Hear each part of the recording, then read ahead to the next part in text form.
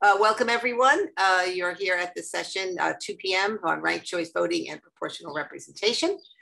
Um, so I've, we ask people to be on mute while the speakers are talking and there'll be plenty of time for question and answer. So I will turn it over to our first speaker, Howie Hawkins. Thank you, Gloria. And just brief introduction, I was the Green Party candidate for president in 2020. And I just put some information in the chat that's background to my opening remarks.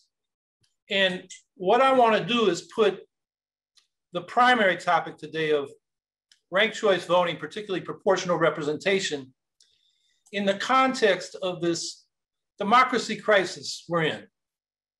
So the resources are some demands uh, I think we should be raising. There's a resource paper that links to legislation and background information. I did a release blasting Biden for not even talking about the filibuster in his so-called voting rights speech in Philly earlier this week.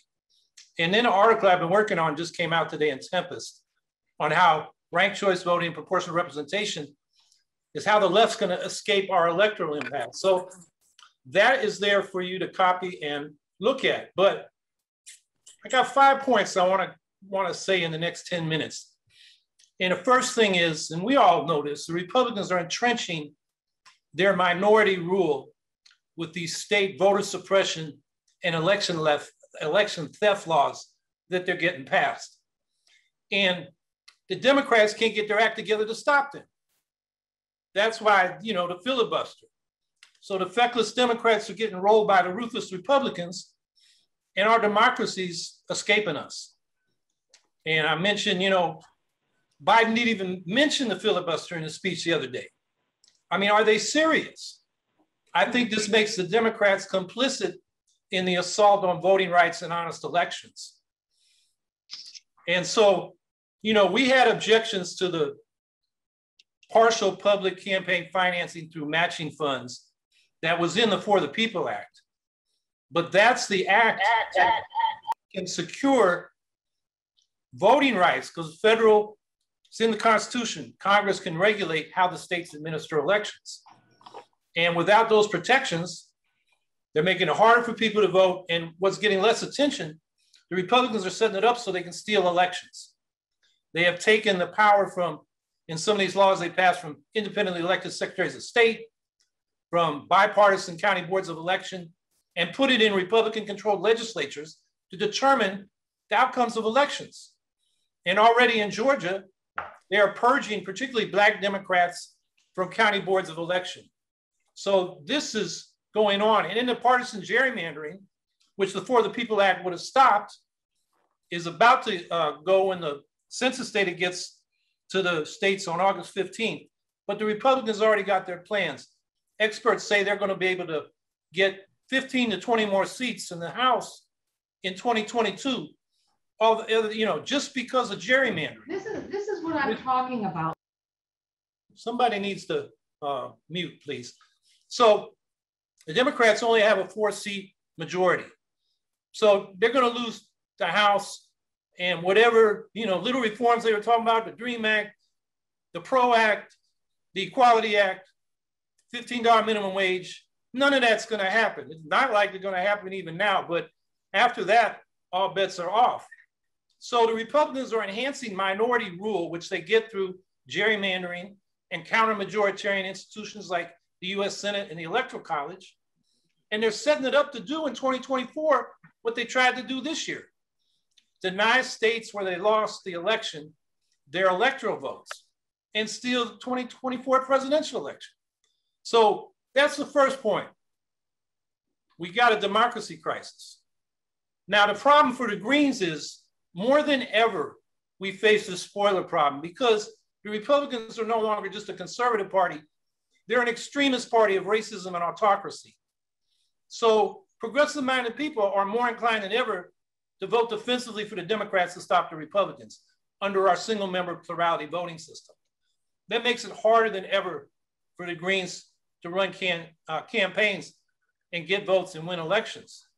I know. That's huh? why we need to prioritize ranked choice voting and proportional representation. Please, And I I'm think- sorry, Howie, Go on, everyone, everyone, please mute while our speakers are talking. Thank you. Sorry, Howie. Yeah, we really have to attack head on the single member district winner take all system because not only does it create the incentives for lesser legal voting and entrench the two party system, it's exclusionary. Only the plurality in a district gets represented. And 90% of our House districts and 95% of our state legislative districts and most of our local municipal districts are one party districts because in any one of those single member districts, one party has a majority. That's why usually the biggest vote is the non-vote because people know they can't change anything. We got to take that head on because it's fundamentally anti-democratic and exclusionary. And the only way we're going to break through in these circumstances is by changing the rules and going to proportional representation. I said a lot during the presidential campaign. We can duplicate what we've done in local levels. We have over 100 elected officials. We could elect thousands going into the 2020s. But we don't have time. I mean, that's been done before. The abolitionists, the free soilers leading in the Republican Party, the populist movement in the late 1800s, the socialist movement in the early 20th century, they got to the point where they were electing thousands of people to local office, hundreds of state legislatures, and dozens, particularly uh, in the 30s, by the 30s, uh, it was some of these third parties to Congress.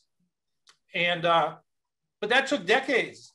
We don't have decades with the climate crisis, the nuclear arms race, and the inequality that kills people right now. Our life expectancies are going down. So we need proportional representation to open up the, uh, the political system for us and everybody else who's excluded.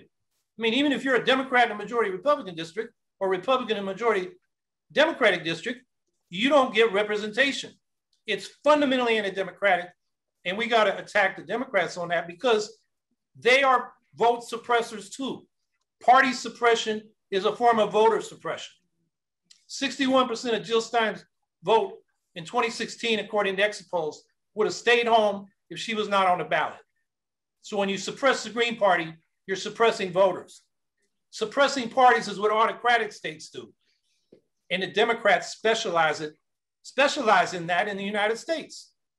We got clobbered by the Democrats here in New York. We're off the ballot. They tripled ballot access requirements. They just passed a law in Nevada aimed directly at the Demo- at the Greens by the Democrats, according to Richard Winger at Ballot Access News.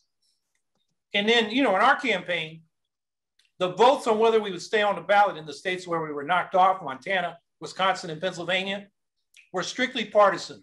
Democratic hack judges knocked us off the ballot, disregarding the facts and the law. So this is a crooked system.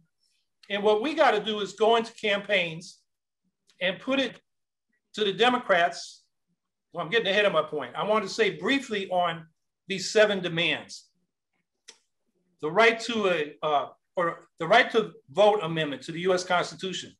If you remember Bush v. Gore, the Supreme said, you don't have a constitutional right to vote.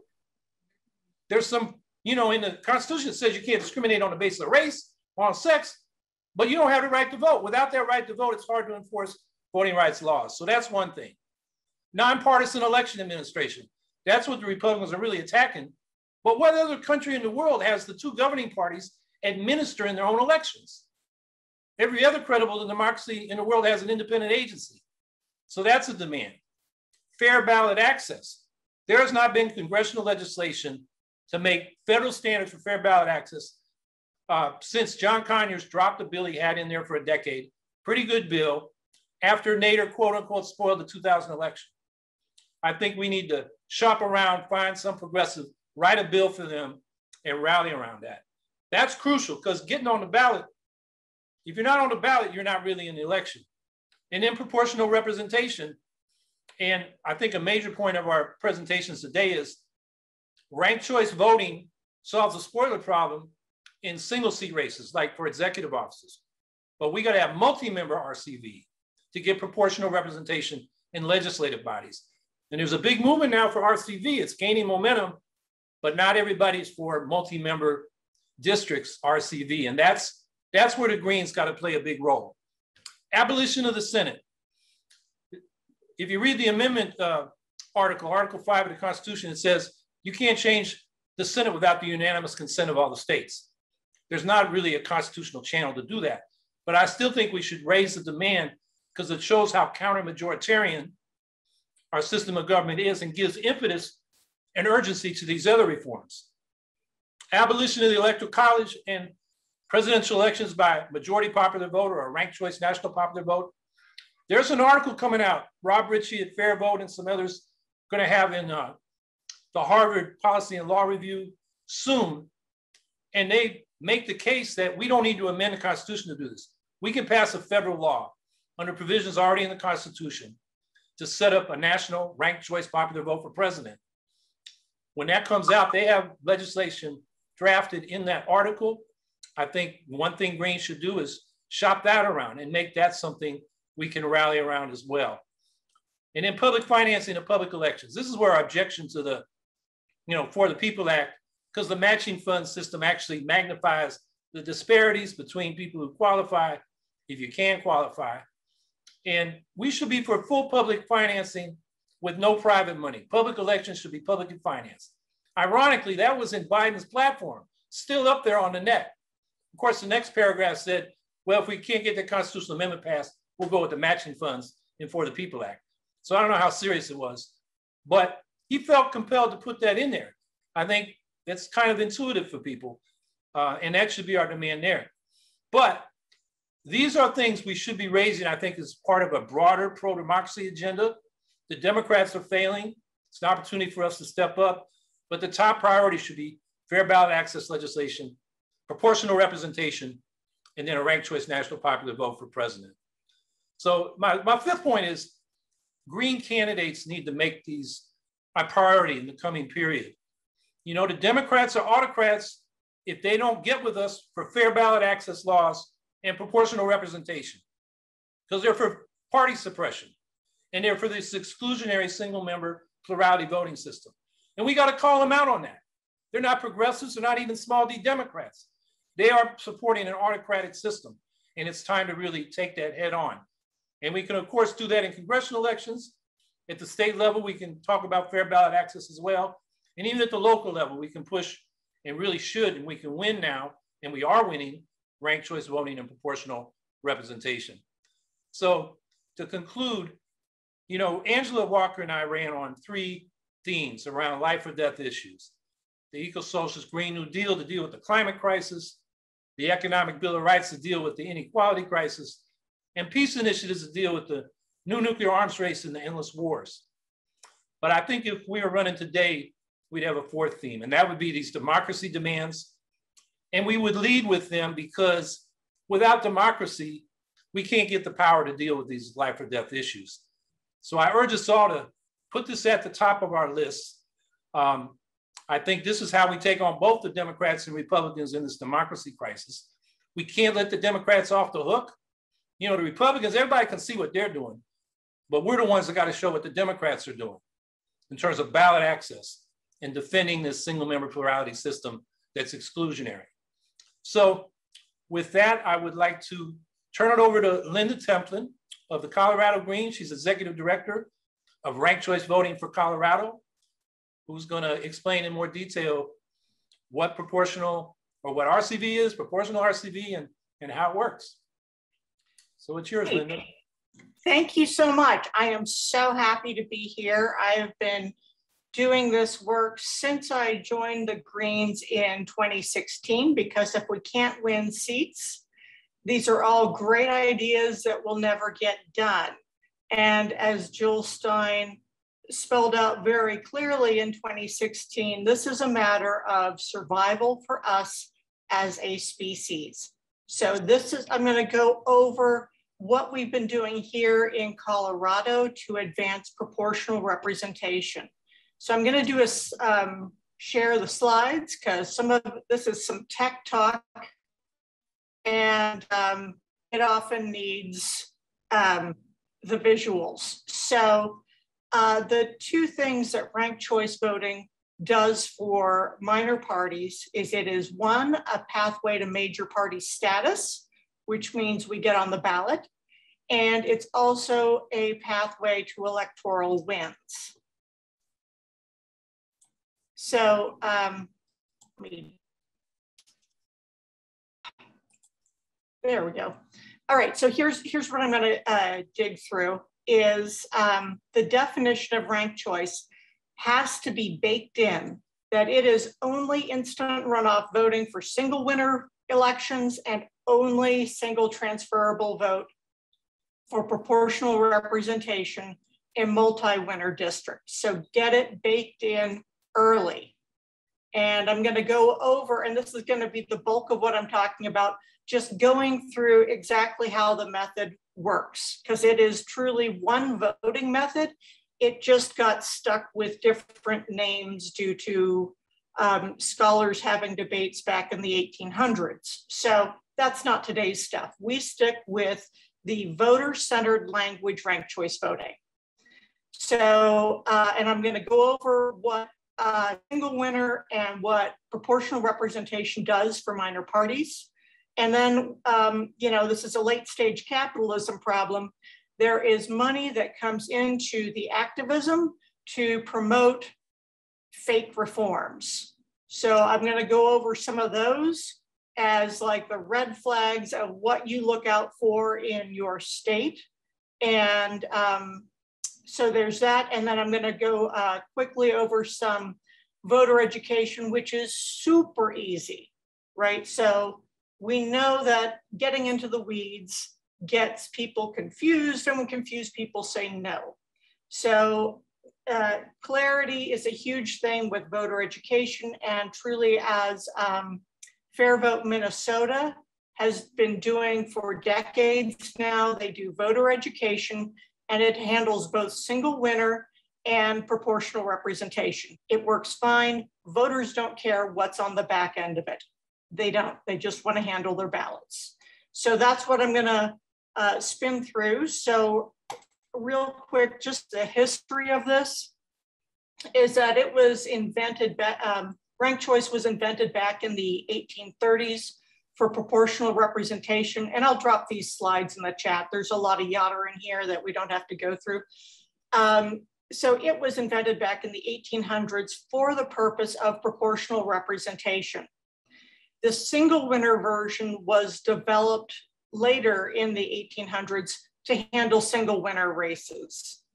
And it has been used in the uh, ranked choice has been used in the US since 1915. So there is a wealth of data on it and there is, um, it, it has been proven in the courts to be what works. So it goes up on challenges and it gets dismissed on summary judgment, which is huge. It's in Robert's Rules of Order as um, the second best method to use instead of in-person balloting. And this is a point that works well for our um, conservative audiences. Um, there was uh, a wave of experiments with different voting methods. Um, yes, the scholars are sure ranked choice is what works. Uh, and then there were repeals based on civil rights activists winning seats in Cincinnati and based on a communist winning a seat in New York City. So that was, um, you know, as you all know, the Democrats were um, against civil rights until they claim to have invented them. You know, it's one of those things. Once they realize they can't win with their thing, they'll pretend they invented the reform. Um, so, and then now we have uh, from the 1990s on, we have a modern wave of, you know, the, these this progressive reform. So, um, and here's a, a quick example of how it is um, you get it baked into the rules. The Colorado Secretary of State, and this was a Republican, uh, baked it in that it is only instant runoff voting, which is the old fashioned name for single winner, and it is only single transferable vote, again, old fashioned name for proportional representation. And this has been, um, we've been working with the Secretary of State's office uh, making sure they get everything they need for a successful rollout. So you don't have like a New York City situation where suddenly, you know, they don't know when to re release results or handle things. Um, so I would say, you know, Colorado leads the nation, and this is obviously not our doing. Colorado leads the nation in um, voter centered election reform. So the other states look to Colorado. So uh, here's the, the link to the rule. This is what you would say to your state. These are the rules for ranked choice voting. Okay, um, now here is the weeds and this is the worst it gets. Okay, okay, which is the threshold formula is always the same in a ranked choice race. So that is uh, one over the number of winners plus one. So for instance, and I'm gonna go different than the slides here, in a single winner race, it's one, one winner plus one. So it's one over two, 50%. And that's how you get, uh, you know, the community consensus there. Well, in a three winner race, uh, it has, um, you know, you need a quarter of the votes to win. So this is a huge point because what it does is, in, is that it provides, um, I'm just bopping ahead to a, a, a graphic here, it provides proportional representation. So if about a third of the people are prefer green policies, then about a third of the seats go to the Greens. That's essentially how it works. And that's how we're currently getting blocked out by, um, by the single winner, winner take all races. So, and this is, a few things in political science are considered a law, but it is here, Duverger's law, single ballot plurality rule elections within single member districts, which is what we have in most places, it favors a two-party system. And that's why we have the Demopublican Tweedledee Tweedledum system. So, and a quick review, and this, this is the thing the uh, Republicans love is, you know, you point to Ross Perot, uh, because, you know, it's important to get the rank and file from all over the political spectrum.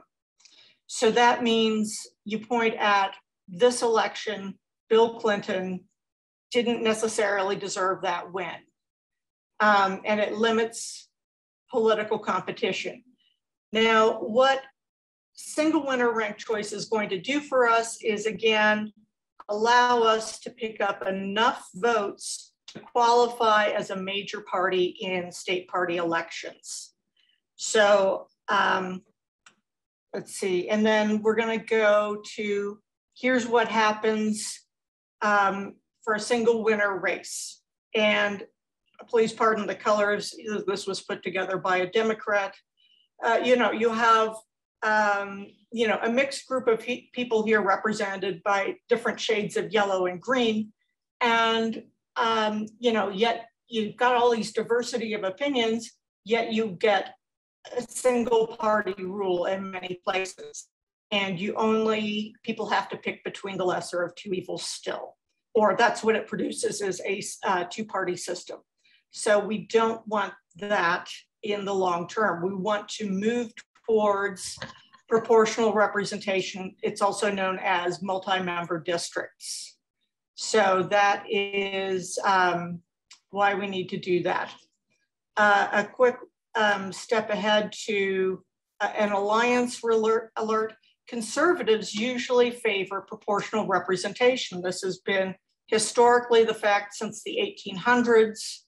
Um, here is an excellent paper that was put out in, I want to say March, uh, by the Independence Institute. So we have a link here, and it puts forth the conservative case for um, proportional representation. And indeed, when I spoke with the um, Republican Party's executive committee, they love the idea of proportional representation because it guarantees them a seat because they're getting boxed out by the Democrats in Colorado, just like they used to box out the, uh, the Democrats. So they know that um, this system is not working out for them and that they need to get on board with this.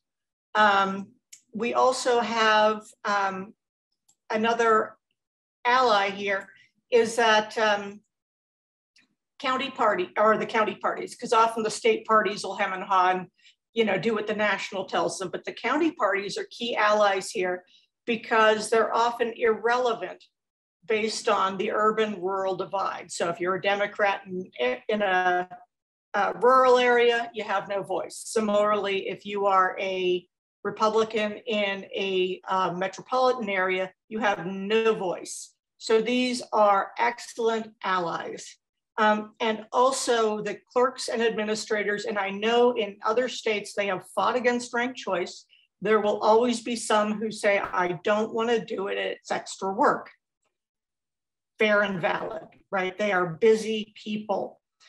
We will find allies within the administration, particularly at your Secretary of State's office. These are the nonpartisan people who are in through the current um, system and they so they're not beholden to a political party or you know when administrations change they don't so these folks are the ones who will speak up at policy meetings and say, that's not fair to the minor parties. That's not fair to independents. They'll get it out of their mouths before I can get it out of my mouth.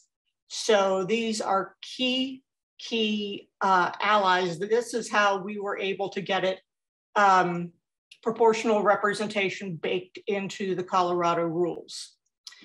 So um, let's see. So this is this is me going back to a point I already made, single winner. This is just an example of voter education. And this is the um, Clinton Bush Perot race. So we have Clinton winning here. And if the if Perot had been eliminated, then um, most the odds are that uh, most of those votes would have gone over to Bush, and that would have changed the history of the Democratic Party. They wouldn't have scooched to the right quite as far or as um, solidly as they did with Clinton. Um, and this is as much detail as voters will put up with. This is what activists will put up with is this level of chart and they still don't like it. People like to see the ballots. Now here are the results. So in a single winner race, and this is what we've, um, you know, it's a short-term sacrifice for the Greens it's a short-term sacrifice to go with single winner because there are some Greens around the country who have lucked into office um, by getting a plurality win. So here's an example of a Republican in Fort Collins um, winning with 30% of the votes. And then these are all Berniecrat type um, folks who did not win. And likely this is an unearned win. Um, now this is, here's the ballot. This is what it was like in Santa Fe. This is how they were able to prove up. This is from Center for Civic Design. They have excellent voter education materials.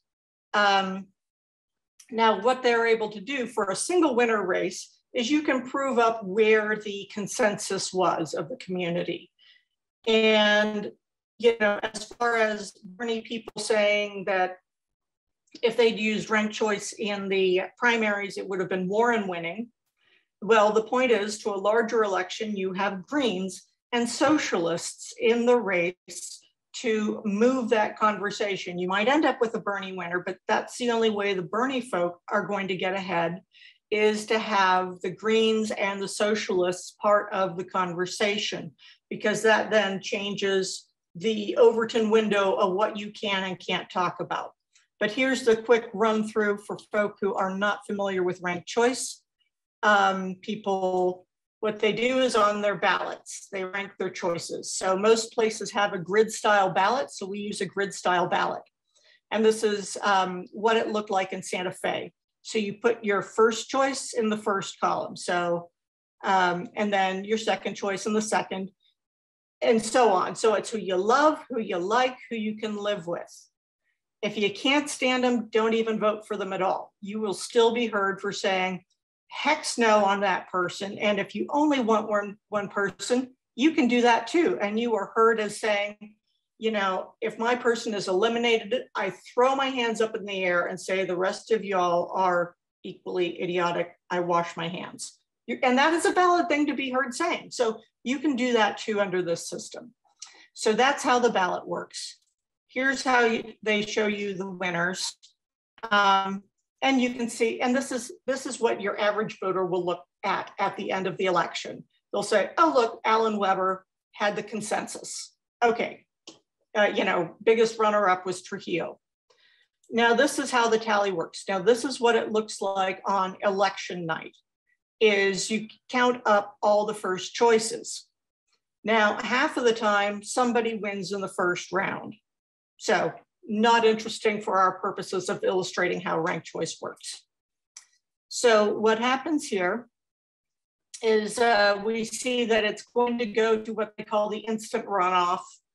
Um, so that means they have to wait for the last of the absentee ballots to come in, the last of the mail ballots to come in. You know, it's not on election night, it's when they get it dialed down to having all the ballots together. So um, in Colorado, that's 10 days. So 10 days later, so we know what they tell you on election night is Alan Weber is the leader. He is most likely to be the winner. There could be an upset. We don't know. We'll get it squared away and nobody has to go uh, around saying later, oh, well, he didn't deserve that win because all these other people were in the race. You know, um, it gets squared away and you can understand who really earned it. So here's what happens is you eliminate the candidate with the fewest choices. So we see Peter Ives here is eliminated, but not those voters. We wanna know what they think. Now, uh, 140 people, people said, I wash my hands, I give up on the rest of y'all idiots. Fair. They said that, but they're no longer part of the final tally. That's why it's a percentage, not a hard number. And this is an imperfection in the system. Perfection has not been, uh, you know, found in the mortal realm. And this is how we get it to close enough and done, right? So we just say it's a majority of who the consensus of a majority. All right, that nerd bit is done. Uh, so what we do is we look back at Peter Ives ballots and we say, you know, if you can't have Peter Ives, who do you want instead? And we see that many of them said Weber and many of them said Noble. So that's how the biggest part of the split went. Okay, so they're heard saying that, and it goes kind of up from the bottom. It goes from the least popular candidate with the fewest votes on up because we want to give each candidate as much of a chance to win as possible. That's why we do it that way. So we now have Maestas as the one with the fewest votes. And we see those get uh, transferred to their next choice, their next active choice. So if you voted Ives, he's not in the race but your ballot is still counted if you voted for one of these others. Okie dokie. So we got that. We still don't have a majority, so we're going to, and it's super close between Trujillo and Noble. Um, but we see that Noble and uh, Weber are very similar candidates based on how many of the transfer votes they get. So uh, sorry, Katie Noble, she gets eliminated and we see most of those votes go over to Alan Weber. And we know that he has earned the win. Now, what this does for Weber when he's in office, ideally, is that he has to clean out his ear holes and see, look, I didn't get a win in the first round. My platform is not that strong. I need to listen to these Katie Noble voters to whom I owe my win. I wouldn't have been able to take the win without that block of support. I have to see where my support came from as part of a winning coalition. So that is single winner. Breathe and out. Okay, congratulations for getting through that Nerdapalooza. Alrighty, so uh, multi-winner, same hecking ballot, right? Same thing. So that's all voters care about. But here's our example here. Um, is what happens in the in this election is you just tell people, um, you know, after the election's over, you just say who won.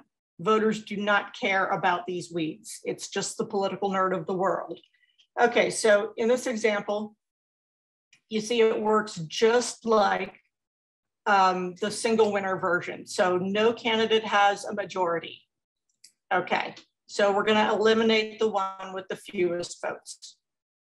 All right, so we have those getting transferred and we got a winner, Betsy Perez. Now, here's what's different. This, she has more support than she needs. So this is, this is the genius of the system you don't have to say, well, Betsy, as a voter, you don't have to say, well, Betsy Perez is so popular. I don't want to waste my vote by voting for her, so I'm going to vote for somebody else. No, you don't have to think into it at that level. You just say the truth of what you want. So if your vote goes to Betsy Perez, we see that she's got 15 extra votes. What those do is they those 15 extra votes, and they're chosen randomly, but they get transferred to their second choice. So it's not that you have an extra vote, it's just that your support was in excess of what was needed. So it's going to go to your next choice because we don't want to exclude you from the final decision. So that's how it works. So the surplus, we call those the surplus votes, those get transferred. Okay, so it is then just wash and repeat. Um, we see sheet. Those votes go to Mary Chan and Steve Lorenzo. And then Mary Chan takes the win. Her surplus votes go to Steve Lorenzo. So that's how we find a consensus of the majority. And we see who earned a win in a multi-winner race. Okay, so you have now survived a college level class on how the heck that works. Um, and again, most of these things are not things regular voters care about. What they care about is how to work their ballots and they will care about coalition support. So let's say a environmental organization will say, vote for this green number one, vote for this independent number two. You know, they will rank the choices and that'll help determine who gets the win. But on your ballot, you say, or, or on your um, campaign materials, you put your name and then number one. So it's Linda Templin, number one. And that lets them know I want the first ranking. And then when I'm out campaigning, I'll say, rank me number one. But if you can't, then consider this independent candidate who also cares about fracking. You know, do it that way and that alerts the voters on how you're going to aggregate a consensus win. So that's the bulk of it. So to go real quick into now, here are the fake reforms that are getting uh, put out there because what can I say? The people with the money do not like the poor's getting uh, control. So there is um, one fake reform getting trotted out. It's in um, it's getting used in Utah now. It used to be used in Louisiana. It's called block preferential. There are organizations, and I will call these organizations frenemies because they are often useful, but then they do this nonsense where they push block preferential and then include it in their like list of cities that have ranked choice. So you got to look for the fly in the ointment there on the um, on the FairVote maps uh, our, our frenemies at FairVote. So what it does is it favors the largest party. So there are scholars putting out papers on how this is trash. And so what's happening in Utah is that this is a, um, uh, a pilot and they're going to discover that block preferential is trash and then they'll, you know, knock on wood, get um, uh, move it to block uh, to um, proportional representation. Okay, so moving along right quick. Uh, that's a fob. There's final five voting, and that's what got passed in Alaska. They uh, that was um, Katherine Gehl at um, Democracy Found, and uh, it looks like ranked choice because they pass ranked choice, but then it also has a final five or a final four primary. It is a, you know, a Wild West or a jungle primary that is a, a sing, it is a pick one plurality election. And so you don't have to have any type of majority. There's no con community consensus built into it. And it also limits competition because the independents and the uh, minor parties are not going to have the money to get the names out there in the um, in the primaries, and this blocks the minor parties out of the general election. It is trash. There's a few other fobs, and I'm pretty much done. Uh, Grand Junction voting, and I'll drop the um, the Borda count approval and star. Yes, we've done the research yes, there are those political scientists who are telling us we're getting it right. Yes, we have an annual review of methods. I'll um, drop some information about that into the chat if you all want to participate. What we do nationwide is look at all these states that already have some form of um, ranked choice being instant runoff or single transferable for proportional representation. These are all the places that are getting ready for when we have national RCV for president. These are the places where it's getting cooked in or it's already part of how the administrators run their elections. So again, this is all the voters care about. We talk about cookies because everybody likes them and wants to talk about cookies and it's never too hot or cold for cookies. So we talk about that. This is what the voters care about. They know it's easy. Um, it's proven. So if you need to have a Bible to thump, if you will, I will point to uh, Breaking the Two-Party Doom Loop by Lee Drutman, who is um, uh, a key um, scholarly ally in the um, fight for proportional representation. And again, I'll, I'll drop the links in the chat um, that includes our timeline on when we're planning to get it in Colorado. With that, I will pass it on because I am really looking forward to hearing what's going on in Florida.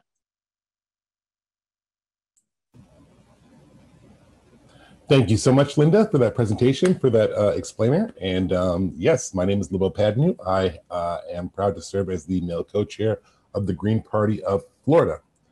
Um, Florida, as you may guess, is politically somewhat different um, than things are in uh, Colorado.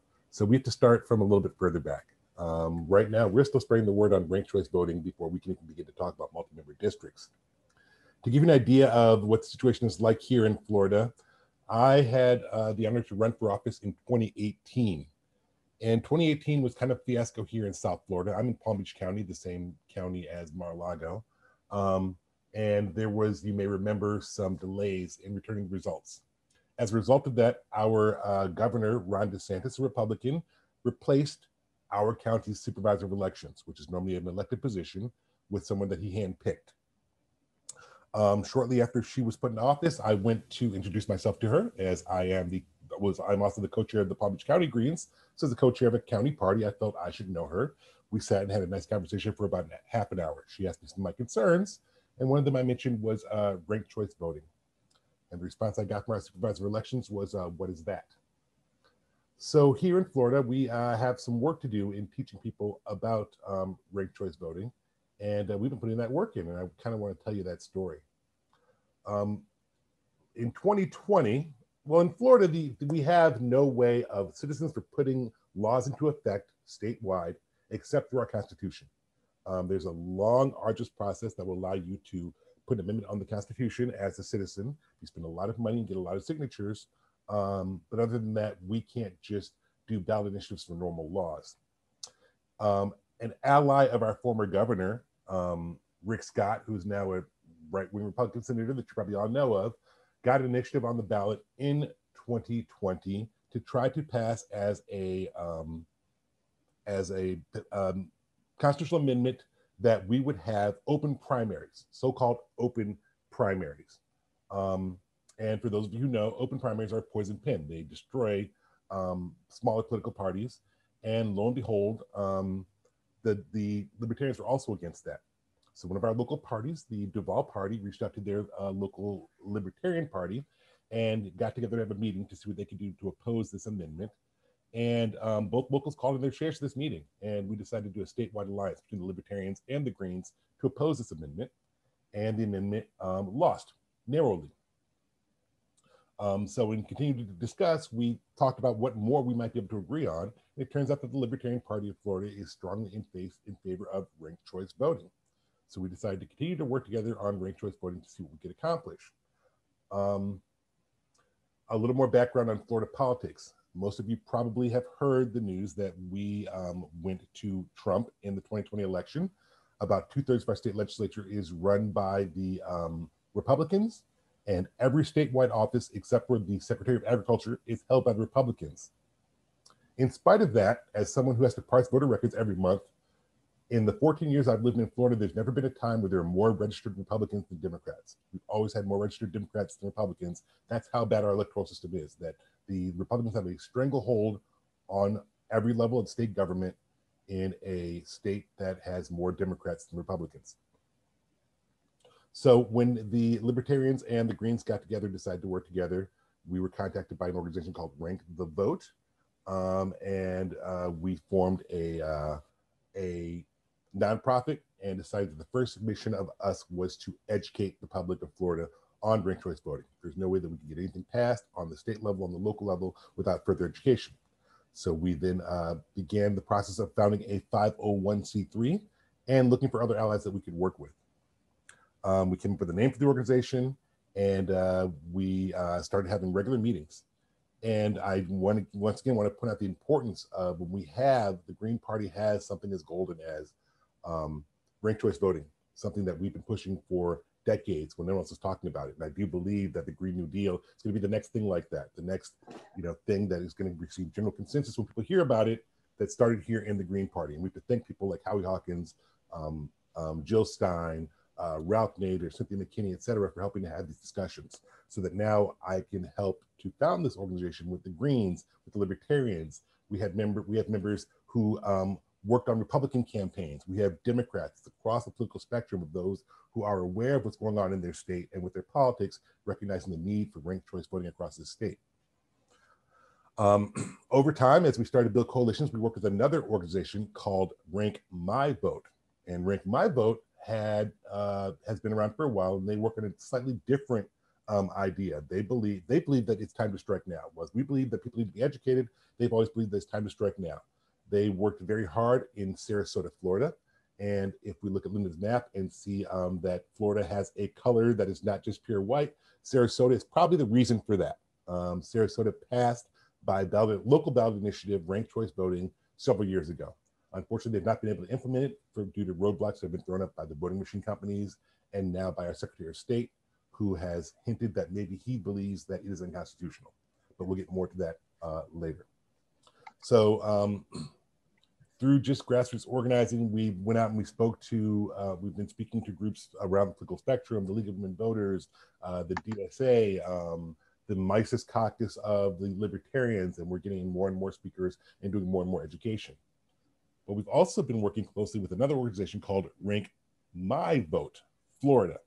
And Rank My Vote Florida, as I said, was very involved in the win in Sarasota, and they've been working very much on the local level. And they are a 501c4. For those who don't know, 501c3, which the organization I spoke of earlier has, um, restricts you largely to education. Um, your spending on um, ballot initiatives, on candidates, and things like that is going to be restricted. 501c4 is more allowing you to do political spending, and the donations made to an organization like that are going to be tax exempt. Um, I know this is a little bit nitty gritty, but this is, I believe, the room for that because you need to know that your state's going to be different, and the wins that happen in one state they're going to be need to be done in a different way in another state. Um, you know, you may be able to have ballot initiatives that allow you to pass statewide laws that make these determinations. We can't do that. We've got to get a constitutional amendment that has to go through our Supreme Court it has to get uh, uh, hundreds of thousands, millions of signatures, etc. So we have to come in at a different level. So um, through the work, working together with uh, Better Ballot Florida, uh, the organization the Libertarians and Greens started, and Rank My Vote, we've decided to bring this 501c3 and this 501c4 together um, to have uh, two closely knit uh, sister organizations that can work together and um, stay on the right side of election and campaign financing laws and things like that, but at the same time um, have different tracks. Because as while my supervisor of elections may know nothing about ranked choice voting, at the same time, um, there's a municipality here in Florida uh, by the name of Clearwater that had an election where a city commissioner won with 27% of the vote. And these are the kinds of outrageous things that can happen that can actually wake people up. So as a result of that, um, the city of Clearwater reached out to us and um, asked us to explain uh, ranked choice voting to them. And the city of Clearwater uh, decided that they're going to put ranked choice voting on the ballot in March of 2022. Um, so that could be a win if we start seeing municipal uh, uh, municipalities begin to adopt them. Um, the city of Gainesville um, also unanimously uh, adopted a resolution to support ranked choice voting, and they intend to put it on the ballot in November of 2022. Um, one of our organizations actually helped to draft that resolution. Um, one of the two organizations has recently won the Accelerator Award from Represent That Us and Unite America. And um, we are working on uh, bringing uh, comprehensive legislation to uh, different cities and counties, um, depending on how our laws are based.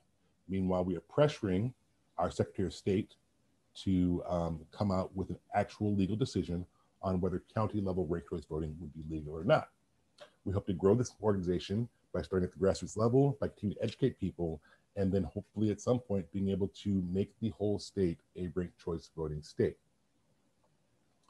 Um, did I miss anything that I wanted to join in? I do want to point out um, the name of the organization. Um, the we have decided to come together under one moniker, and that is rankmyvoteflorida.org. And um, there you can join up, sign up, and get our newsletter and find out um, what we're doing here. And also, I think I have a few minutes left. How am I doing on time here? You got about a minute, but you can have a couple extra minutes because Howie and Linda. All right, thank you so much. Um, part of what this came out of, and I think that this is this goes uh, to the spirit of what we're talking about, is um, what can green, green parties do, especially green parties like us, when um, we have a lot of difficulty in the electoral um, um, space. And that was a problem that we faced in 2020. Going into 2020, we had a single candidate running for office, and that candidate was a writing candidate. And that was in the 2020 cycle when Howie was running and there's a lot of attention on the Green Party, and it became very important for us to find a way to fulfill our mission without a plethora of candidates. It's very hard to run in 2020 because it's the spoiler the spoiler accusation can be very powerful to those of us who are not um, inoculated against it. Um, so we decided that it was time for us to focus on the levers of power within our state that were accessible, even if we're not elected. We started look, looking at legislation and how we can uh, kind of move that legislation around, understanding the systems of our state so that we could have a better control, a, a better uh, way of accessing it, and furthermore, so that we would have a better understanding so that when we send people to our state legislature, to our state senate, they have an idea of how this works, and, and so they won't get rolled. And um, working on ranked choice voting, I really emphasizes that to me. It, it, really is a matter of being able to reach out across the different partisan divides and working with other groups in places that you can work with them. Um, the the libertarians and the Greens, we don't agree on a lot. But one thing that we agreed on uh, around 20 years ago before I joined the party was libertarians agreed on a ballot amendment that passed uh, right before the turn of the century. And it's the reason that the Greens don't have to fight for ballot access every single year. The Greens and Libertarians worked together and they passed a ballot amendment where they could work together to basically say that if you gain ballot access here in the state of Florida as a party, keep on your paperwork regularly, and you will be a party. So politics are flash, or politics elections are are flash and they're big and they're great. They're the way to bring people into the party. But even if you can't run for office, if you won't run for office, there are a lot of things that you can do in your state, um, especially in something like ranked choice voting, where people are, are, are open to it, they're listening, that you can still have an impact even if you don't have people in office. So um, I'd like to thank you for your time. Thank you to our panelists. Um, this session ends at 3.20, so we it's just um, a few minutes to three, so we have some time for questions. Uh, there is one that was already in the chat, so I'll read that um, from Deborah. Uh, and then people can write stack in the chat and we can have you answer your, ask your questions. Uh, Howie, can we abolish the filibuster that originates in the 18th century? Who's responsible for over the course of time to brainwash the public to think there is only one, there are two political parties in this country. Is it the two parties or the Board of Elections? So I don't know, Howie, that was directed to you, but I'm sure if the other panelists have some comments, they can do that. The Democrats can abolish the filibuster. The senators can do it with Harris providing the tiebreaker. They could do it in 10 minutes from now by having a vote and they can change the Senate rules. They could do it partially so they could get the voting rights legislation passed, the For the People Act and the John Lewis Voting Rights Act. But they didn't, and they're not, because Biden won't push it. And although we know about Sinema and Manchin, Washington Post has been surveying these senators. There's about a dozen Democrats that don't want to get rid of the filibuster. So who could do it? The Democrats could. They're not going to do it. So we're not going to get voting rights or any of the other reforms they ran on. And that's why we need the damn Green Party. Now, why does the country think we're a two party system? Corporate media only covers the two parties. Uh, I I've been out there petitioning for years. I used to, in New Hampshire 30 years ago, people would say, this is a two party country. You can't you can't petition to put the Green Party on the ballot. I mean, people have been imbibed this. So I think it's it's in the air. And the big thing that reinforces that is this single member plurality voting we're talking about. Because even if people say, well, I'd like to vote for a third party, but this year, you know, everybody who is at all progressive minded, except for about 400,000 of us, voted for Biden to stop Trump. And you can understand why. Trump was scary you know, my answer was Biden was no answer, and we're seeing that right now. But that voting system, you know, we've had uh, something like 46 presidential elections since they first tallied the popular vote. And third parties on the left first ran the Liberty Party, Abolitionist Party, 1840. And only four or five times have the independent left party got more than 4% free soilers twice, populist once, socialist once, and progressives once. And that was a century ago. The incentives, particularly in a high stakes race like president in this two party or this single member plurality system, uh, are really powerful. 19 of the 50 presidents elected since they tallied didn't get a majority of the vote. Five of them came in second in the popular vote. I mean, our, it's a farcical system. Yet that's where the incentives are. So, you know, you get people thinking, well, yeah, we like what the Greens say. The polls show our positions are more popular than the Democrats and Republicans. That's why, they, you know, I think they're really afraid of us because they know in a fair election system, there'd be a lot of us in office. It'd change the whole thing. So that two-party system is entrenched in people's minds and reinforced by the voting system. I have a few other questions. I have a few other questions that have already come in, Howie, if you okay. uh, have time to. Um, okay, well, I'm going to call on Bill uh, Balderson first. He, he has to be on stack, and then I'll keep going. Please mute uh, if you're not speaking. Uh, thank you. And I apologize. I had intended to be here at the beginning, but I had a, a medical appointment I had to deal with today. Um, my question is this, uh, and maybe it's been well covered. I, I come from Oakland, and I'm sure as was reported, the Bay Area, you know, putting aside Utah, the Bay Area um, is probably the highest concentration of ranked choice voting uh, uh, cities. Uh, not only San Francisco, uh, but my own town in Oakland, and it's been progressing San Leandro, and more recently Albany and uh, other fairly near locations have done it advise, in an advisory way. And I'm, I'm assuming it was reported uh, earlier that Gavin Newsom had voted against uh, the uh, proposal when it first came up in San Francisco and that he vetoed a bill that would have made it a statewide uh, possibility. Uh, but my question is this Um, as much as we talk about uh, RCV, and rightly so, because it's uh, uh, perhaps much more attainable than so many other things, um, I'm curious if there there's been discussions places nationally about proportional representation.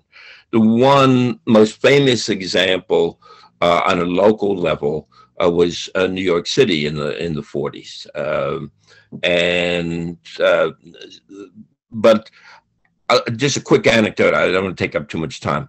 I, I brought up a motion some years back, 15 years back, at the um, convention of the National Education Association, the largest union in the United States, and probably the most heavily wed to the Democratic Party, um, at our General Assembly, a Representative Assembly, um, about a study on proportional representation.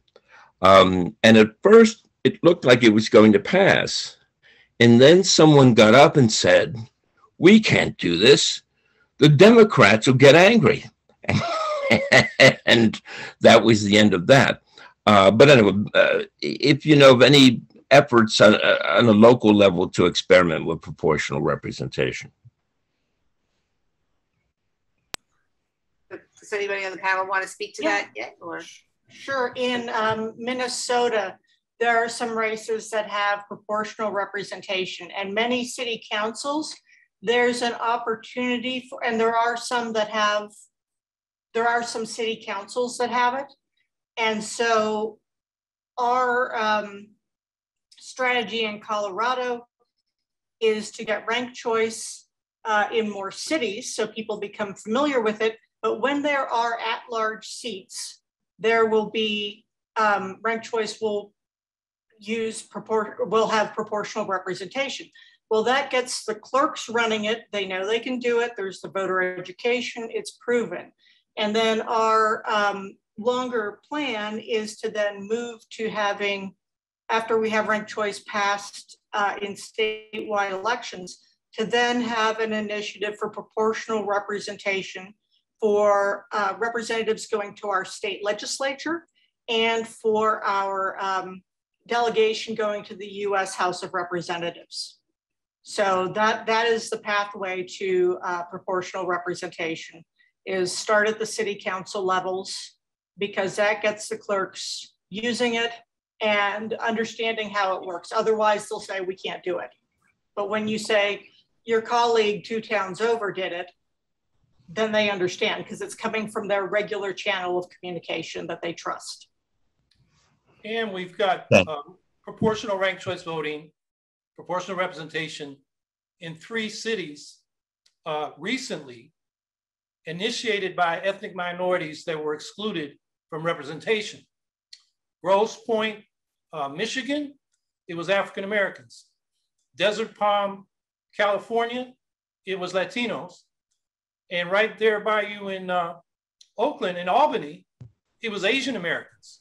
And it was either litigation, which was Grosse Pointe, or the threat of litigation and civil rights activism.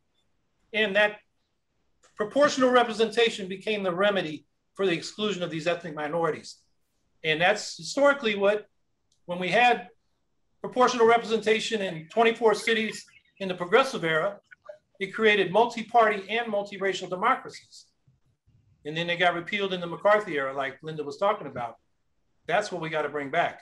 In New York City, first black was elected, Adam Clayton Powell, running on a third party ticket, uh, American Labor Party first women elected to the city council when they had proportional representation in 1937 to 1945. Thank you. Uh, Dave Schwab asked a question. I don't know, Dave, if you feel you got your answer in the chat, or we can hear for everybody, which says, um, uh, in terms of um, fractional versus random votes, uh, when, um, oh, that's sorry, that's Linda's answer. Uh, Dave's question was, um, with overvotes, wouldn't it be fairer to count a fraction of everyone's second choice rather than randomly selecting some ballots to get their second choice counted? I don't know, Linda, if you want to expand on that. Some people may be on the phone and not see the chat. Oh, okay. So um, real quick, we leave that to the clerks to figure out. Uh, most, most of the computer systems that run single transferable vote do it fractionally. So I, um, but there is a, a, short list of different ways it can mathematically get done. And it is, um, we, we, stay agnostic to it and let the clerks handle it because um, that's what gets the clerks on our side is that we say, you know, they are overtaxed workers or who are like given so much to do, they can figure it out.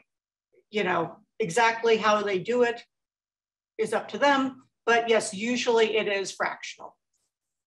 But we don't use the word fraction when talking to regular voters because heads explode. Uh, and a follow-up question from Dave, and then we'll go back to Deborah, is, is there a gold standard software to calculate the transfers? Um, you know what, they all have it, and there is some that is uh, free that was put together by um, RCV Resource Center. It's open source, the Universal Tabulator, and that's what um, the uh, software companies use as their model. That's what they're copying and pasting from and then selling at a higher rate. And, you know, again, that's for the clerks to figure out which um, vendor they want to go to. Great, thanks. And uh, before we go to another question, just a shout out. Uh, it is in the chat, but uh, Craig Caetano from New Jersey, um, he is along with another Green, one of the founding members of Ranked Choice New Jersey. So there are Greens leading this kind of nonpartisan effort around the country. So it's great for people to connect that way. Um, and let me get back to Deborah's question. How come some environmental conservative groups like Sierra Club only endorse Democratic candidates? Ah, the big question many of us as candidates have been asked. Is it because they get donations from them and how do we change that? Well, in my opinion, it's their mentality. Sierra Club uh, are mostly, you know, liberal reformers and Democrats look like the best shot. Um, but there are exceptions. I've got endorsements from Sierra Clubs. Um, if you're a credible candidate and you know the local people, one good thing about Sierra Club is a membership organization. They vote on leadership, they vote on their positions. It's not like these top-down nonprofits. So actually Sierra Club is like a union. We got a fighting chance. But generally, the billionaires fund these nonprofits and the progressives got their billionaires. And then the deal is you got to be oriented to the Democratic Party and steer people there.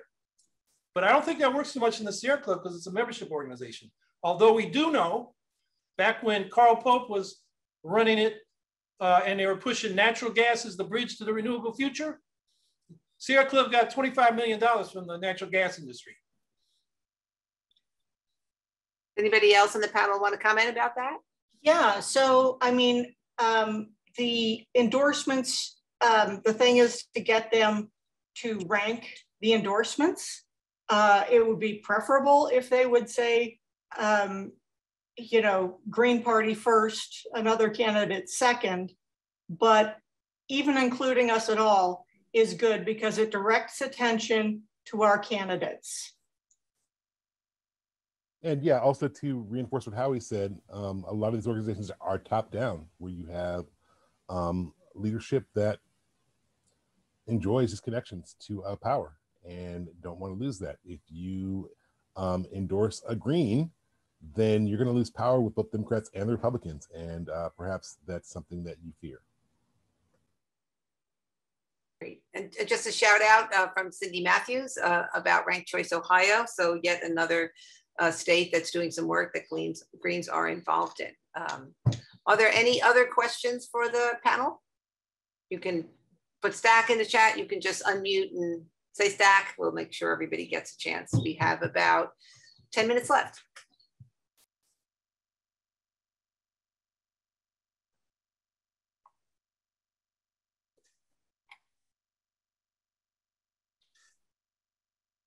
Well, while we're waiting on a question, uh, could I say a few words about the New York City ranked choice voting primary? Sure. Uh, for the voters, they liked it. There was an exit poll 95% of the voters said the ballots were simple to use. 77% said they want to keep doing ranked choice voting. You may have seen the right wing Heritage Foundation, American Enterprise Institute, Wall Street Journal, uh, some Black and Latino and Asian Democrats on the council that don't want competition because in single member plurality, you can say you're splitting the Black vote. in a ranked choice vote, you can have competition among black voters and you can rank them one, two, three. And they don't want the competition. That's where that's coming from. And you've heard a lot of negative things. The problem in New York was we got a we got a terrible New York City Board of Election based on patronage, nepotism, incompetence, ineptitude. You know, like Bernie Sanders, they purged 200,000 voters in that 2016 primary. They put uh, 100,000 uh, mistaken absentee ballots out in 2020. They keep making these stupid mistakes. So that's why you're getting a lot of complaints, but the, the voters liked it. Now, the problem for the Greens is this is a partisan piece of legislation. It only covers primaries and special elections. General election, they're back to plurality voting. So the Greens don't get the benefit of removing the spoiler problem. And that was very conscious. I know one of those people on the uh, Charter Commission, Sal Albanese, he told me that's why they did it. And I know one of the lawyers that was counsel. The other thing they could have done, like Bill Balderson raised, was go to proportional ranked choice voting for the city council. And they got testimony that that's how New York City used to do it. But the Democrats, who have 48 to 51 uh, members of the city council, appointed 14 of the 15 charter commissioners, and have every citywide office, didn't want competition from the Greens. So that's why you have this partisan law. So, you know, our task in New York is to extend ranked choice voting to the general and make it proportional for city council. So the voters liked it, and hopefully we can build upon that to expand it so it includes all the parties. Thank you, Howie. Any other questions or comments or comments from um, our other panelists as we wrap up?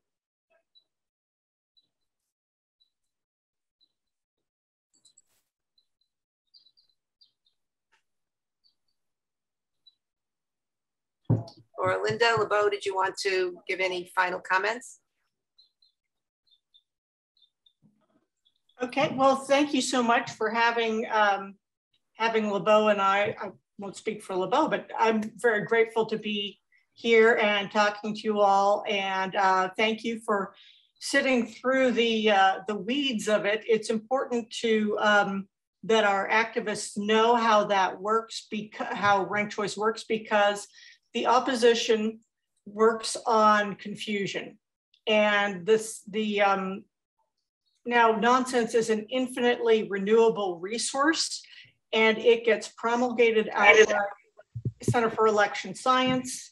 Look out for them and um, I'll be uh, hopefully getting in touch with everyone with resources that you can use in your own state. And please talk to your friends, talk to your your frenemies, talk to your allies. Now is really the time for this movement. You'll be surprised um, if you get out there and begin talking to people how much fertile ground there is. Even if you think you live in a uh, desolate political wasteland, you may be surprised. The last thing I'd like to say is what I said at the beginning. I urge Greens to put Democrats on the spot. Everybody knows the Republicans are making all these anti-democratic moves. But the Democrats are the party of party suppression, which is a form of voter suppression. So all our candidates, they should challenge the Democrat they're running against get behind the fair ballot access. If it's Congress, there's federal legislation. If it's state legislation, and for proportional representation. And if they won't get behind those, the Greens should say, we're pulling your progressive card because you're an autocrat, because you're for party suppression, which is what they do in autocratic states. I think we got to really push hard on this issue because while the Republicans are getting all the attention, the Democrats are complicit. They can't even remove the filibuster to get the For the People Act and the John Lewis Voting Rights Act passed. So we got to call them out on that. And that's why we need to run against both parties. Great. Well, thank you uh, to our speakers. Thank you to our participants who um, not only asked some great questions, but also shared what they're doing in their states and their localities. And uh, maybe this is time for the National Party to talk about even having a national call in where states can all talk about the initiatives and the way to share that. Um, so thank you, everyone. Enjoy the rest of the meeting. Thank you. Thanks. Thank you.